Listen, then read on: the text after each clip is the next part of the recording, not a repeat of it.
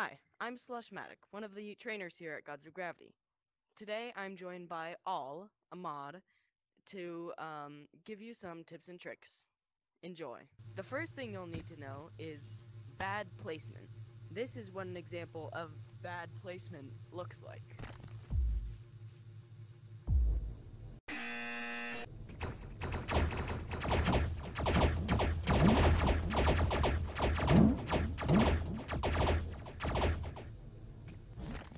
Yeah, lost all You the see how all our troops died there? Womp womp. That's bad. And this is what an example of good placement looks like. Where's the thing? I don't, I don't know where the thing is.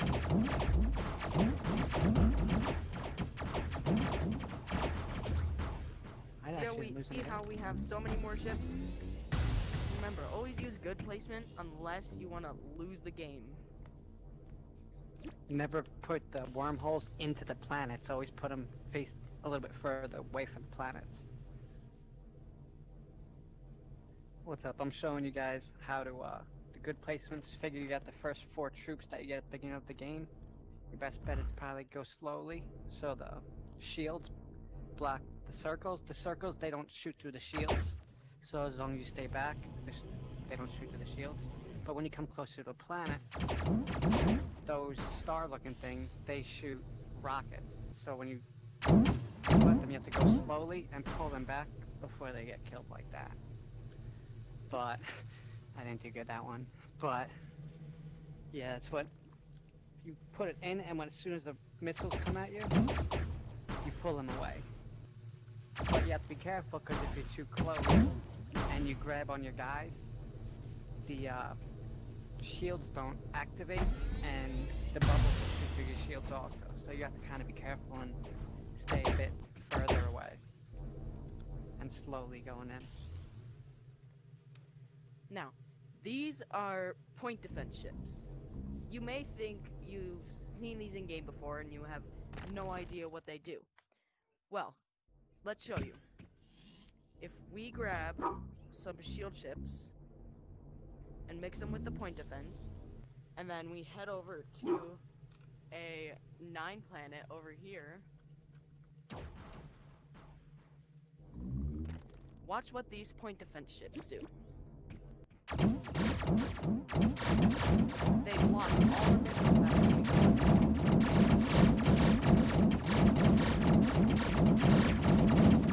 So remember, every time you're attacking something, always use point defense.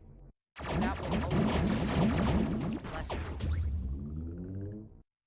And don't push them too close into the planet, because if you push them close to the planet, the other troops will be able to shoot you. So as long as mm-hmm. you keep them back a little bit, they'll be able to counteract the, miss- the missiles or whatever they're called. Next up is God choice. Something that you never want to do is either A, pick God of Production, or B, use the ability when your fleet capacity is full. To show you an example, we'll show you in this game. Next is the production ability. So you notice on the bottom left of the screen how the blue bar is full and the red bar is not completely full. There's some slight um, more darker red. Well, that means that you're at full fleet capacity, and if you were to use your ability, nothing would appear. So remember, if you're using God of Production's ability, make sure you always have more troops. Next is the sun. So you see here how the timer is counting down? Once you free the sun, when the timer hits zero, Blue team has buff. been buffed. but you want to make sure as soon as you as soon as you get the buff to remove your troops otherwise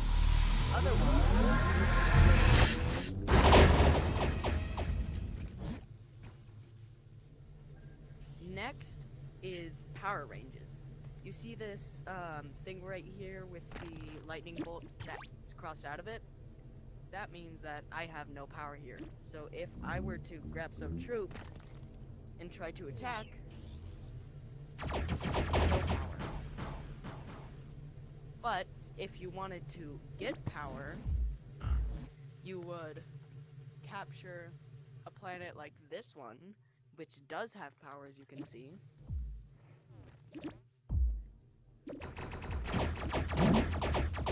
And then when you do capture it,